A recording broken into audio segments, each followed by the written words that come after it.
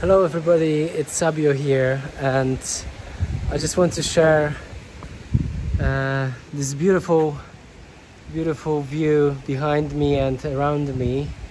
We are starting today the return to Harmony retreat which I'm very very proud of uh, and together with my friend Sylvia uh, Vanadita we are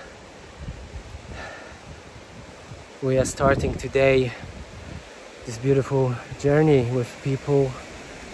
Look ar look around look around. It's magic. Magic is around.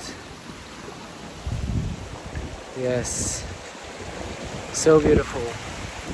So yes finally finally we are arrived we we've arrived here and that's what it is and uh, yeah.